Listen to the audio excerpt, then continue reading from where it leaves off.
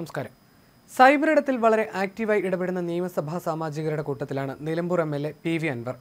അൻവറിന്റെ പോസ്റ്റുകളെല്ലാം പലർക്കും മുന്നറിയിപ്പ് എന്ന വിധത്തിലാണ് പുറത്തു വരാറുള്ളത്. മാധ്യമപ്രവർത്തകരടക്കം തന്റെ ഹിറ്റ് ലിസ്റ്റിൽ ഉള്ളവരാണെന്ന് ഇടയ്ക്കിടെ അദ്ദേഹം പറയുകയും ചെയ്യാറുണ്ട്. വെല്ലുവിളി പോസ്റ്റുകൾ പതിവായി ഇടുന്ന പി വി അൻവർ മരണമസാണെന്നാണ് അദ്ദേഹത്തിന്റെ അനുയായികളും പറയാറുള്ളത്. സൈബർ ഇടത്തിൽ കടന്നൽ കൂട്ടത്തിന്റെ നേതാവാണ് അൻവർ എന്നാണ് അവർ ആഘോഷിക്കുന്നത്. ഇടക്കാലം കൊണ്ട് ആഫ്രിക്കയിൽ സ്വർണഖനനത്തിന് പോയപ്പോഴും ഫേസ്ബുക്കിൽ സജീവമായിരുന്നു അൻവർ. മണ്ഡലത്തിലെ കാര്യങ്ങൾ പോലും സൈബറിടത്തിലൂടെയാണ് അദ്ദേഹം നടത്തിയത്. നിയമസഭയിൽ എത്തിയില്ലെങ്കിലും സൈബറിടത്തിലൂടെ മണ്ഡലത്തിലെ എല്ലാ കാര്യങ്ങളും ഭംഗിയായി നോക്കി. ഇങ്ങനെയൊക്കെയാണ് കാര്യങ്ങളെങ്കിലും കുറച്ചു കാലമായി മാധ്യമപ്രവർത്തകരുമായി കട്ടക്കലിപ്പിലാണ് അൻവർ. താനുമായി ബന്ധപ്പെട്ട വാർത്തകൾ മാധ്യമങ്ങൾ കൊടുക്കുന്നതിനാലാണ് അദ്ദേഹത്തിന് പരിഭവമുള്ളത്. ഈ പരിഭവം പലപ്പോഴും പൊട്ടിത്തെറികളായി മാറാറുണ്ട്. തടയണ പൊളിക്കേണ്ടി വന്നതും ഇ ഡി ചോദ്യം ചെയ്തതുമെല്ലാം മാധ്യമ വാർത്തകളെ തുടർന്നാണെന്ന പരിഭവത്തിലാണ് അദ്ദേഹം.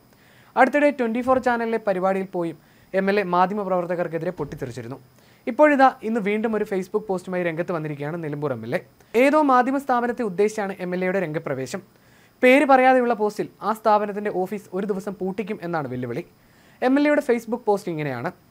തോൽക്കേണ്ടവരുടെ ലിസ്റ്റിൽ പി വി അൻവറിനെ രണ്ടാമതാക്കി നടന്ന താടിയുള്ള മഞ്ഞ പത്രക്കാര. നിയമപരമായി തിരിച്ച് ഞാനൊന്ന് തരുന്നുണ്ട്.